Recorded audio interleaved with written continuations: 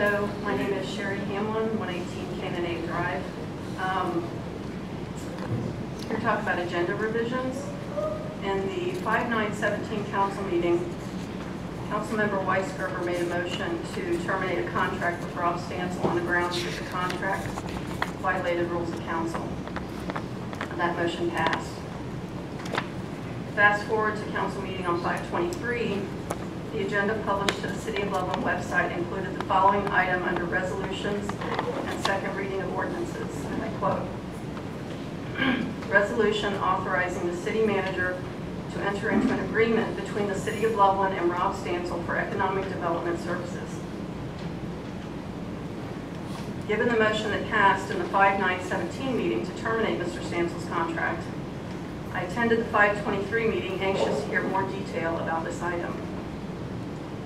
But when I attended the meeting, the agenda dis- distributed had been modified from its original version and did not contain the topic.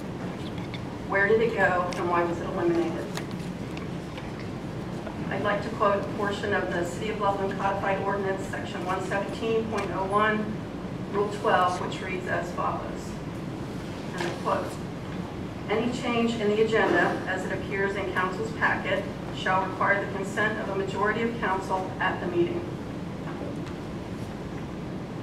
This rule, in my mind, clearly states that once an agenda is made public, it must be discussed at the meeting. The fact that it was not sends a message that somehow, somewhere, someone discussed this topic outside of the public eye, and an agreement was made to remove the topic from the agenda.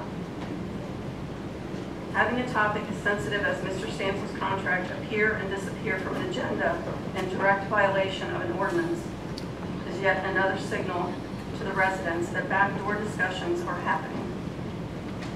Residents who have spoken at open forum have made it clear that they crave transparency. And I just ask, when will our requests be honored? Thank you very much. Um, Joe?